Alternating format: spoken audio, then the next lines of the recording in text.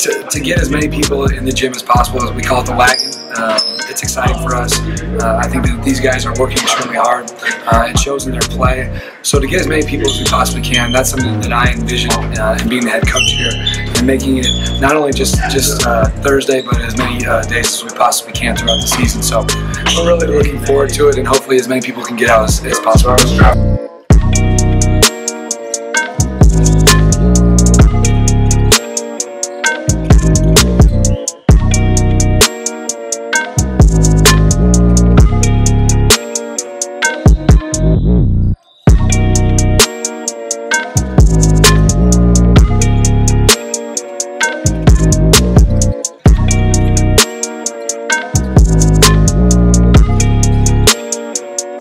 Trying to do big things, and we have, to, we have a lot of people supporting us. It's a lot more fun. We get the, the whole gym rocking and live.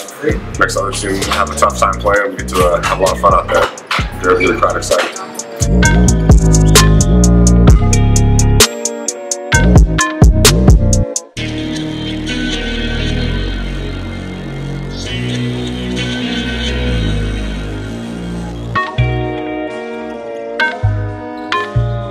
Big just because you know uh, we got all the fans back and all the students, uh, faculty, everyone's gonna be back. So we're gonna have that home court advantage. Uh, we're fortunate enough to play teams when they're on break, and you know it's a lot, not as many students and not as hostile. So this week we're looking for a big crowd. Hopefully we can take advantage of that.